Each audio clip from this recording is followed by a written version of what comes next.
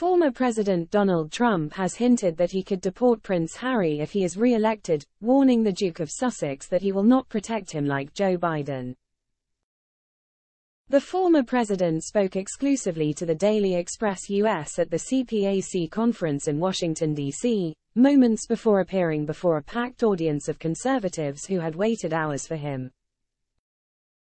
His comments came 24 hours after Prince Harry had appeared in court over whether he had lied on his immigration papers to the U.S. about his drug use which he confessed to in his book Spare.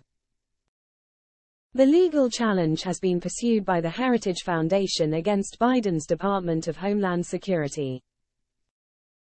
They claim that, under U.S. immigration law, evidence of past drug use can be used as grounds to reject a visa application.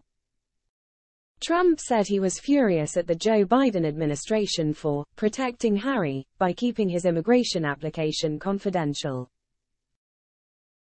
He told Daily Express US, I wouldn't protect him. He betrayed the Queen. That's unforgivable. He would be on his own if it was down to me.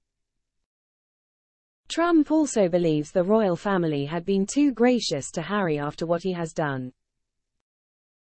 It comes after Harry told ABC's Good Morning America that he had also considered applying to become a U.S. citizen.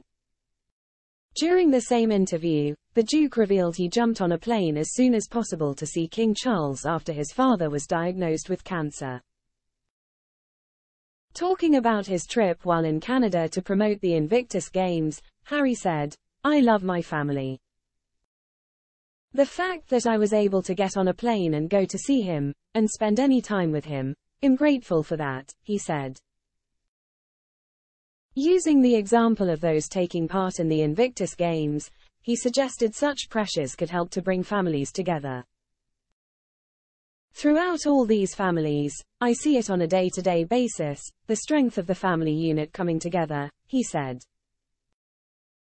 Any illness, any sickness, brings families together, he said.